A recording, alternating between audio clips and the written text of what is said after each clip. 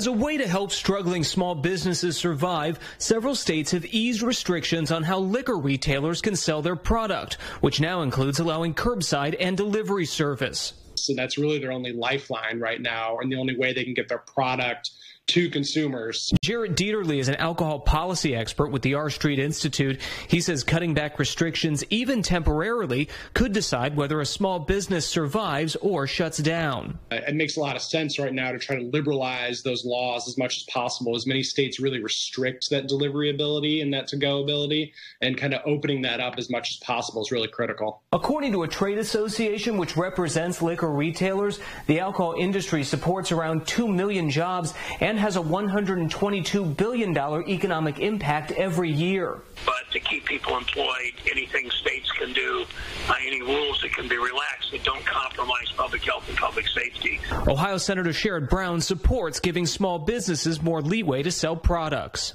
for the most part, this is a state by state issue and is probably going to stay that way. So the work really needs to be done at that level. Dieterle says so far, places like New York and Washington, D.C. have been more open to easing restrictions as opposed to other states like Georgia and New Jersey. In Washington, Trevor Shirley, KLFY News.